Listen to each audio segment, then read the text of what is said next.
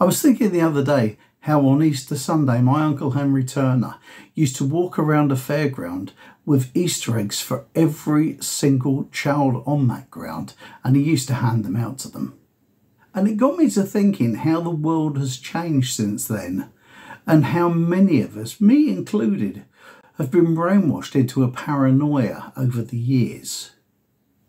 When I look back, I think of my Uncle Billy Main's dad, Sammy, and he's the man on the right of the picture, by the way, who already was an old man when I was a little boy.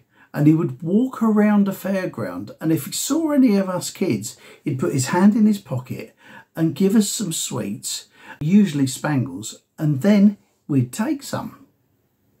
And when I was five, we moved to Burnham-on-Sea in Somerset to open on the seafront with the arcade, and I spent most of my days playing being a donkey boy on the beach with John Tandy. Now, John Tandy was another man who was a bit like the Pied Piper, and all of us kids used to spend time around him because he had the donkeys and he used to let us play with them. Not once did we think we'd be in danger. Yeah, we were all taught not to take sweets from strangers, not to accept a lift from anybody, and all that sort of thing. But it didn't seem as scary then as the media portrays it now. In fact, when I started travelling on the fairgrounds, kids used to come round to our place, knock on the door and ask my wife if I could go out and play. And I'd be there going, can I? Can I? Can I? And I'd go off and play with the kids.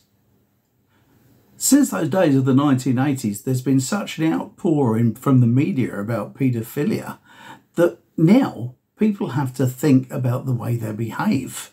I certainly have. Let me give you an example. Back in the early 2000s, one day a girl about 14 came knocking on our door and asked if my son Henry was there. My wife told her that he wasn't, but she was just about to pick him up and that if she wanted to, she could wait until she got back. I said to my wife that I'd go and get him and she said, don't worry, I've got the keys, I'll go. And so she jumped in the car and off she went. Now this meant I was at home on my own with a teenage girl. And to be honest, it made me panic. So what I did, I turned the telly on, said just watch the telly and they'll be back in a minute. And I proceeded to go upstairs into my bedroom and phone one of my friends and told him to stay on the phone to me until my wife got back. That's how worried I was about being on my own with this young girl. And to be honest, as the years have gone by, nothing's really changed. I now live in a village where about five minutes walk from my house is a great big green. On that, on a Saturday and a Sunday, kids play football, different football matches. And I've often walked around there and wanted to watch the football because I do like to watch live football. But the problem is, an old man my age, on his own, looking at kids playing football, people these days tend to think, what's he up to? And perhaps it's just me, perhaps I'm the one that's paranoid, because even if I walk past a children's park, I end up looking at the floor until I've passed it for fear that I may look that way and someone thinks the wrong thing. It's certainly changed the way I think and the way I act much more differently from when I was in my 20s because people have changed and become more politically correct and made people like me feel the way I do. It's even got to the stage where those children that used to ask me to come out and play when they were small are now parents themselves and they are on Facebook and they're friends of mine and they'll show photos of their children on it. And I won't even comment for fear that someone thinks that I'm looking at them in the wrong way. Am I the only person who feels this way? If you feel like it as well, please leave a comment down there because I'm feeling quite lonely on it. It's one of these things in the world that's changed that I'm not really happy about. It makes people like me worry how other people think.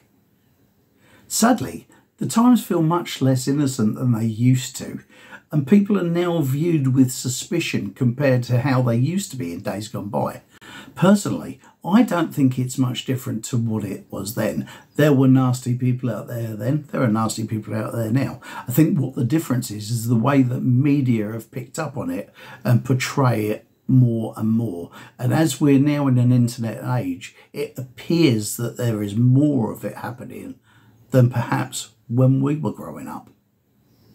What I wonder to myself is have we progressed really does it make things better the way we feel about things now?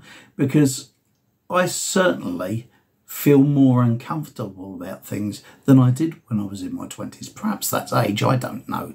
But one thing's for sure, I wouldn't be walking around talking to kids and giving them sweets in this day and age because I personally wouldn't feel safe. Now, if you agree with me, please put some comments down below.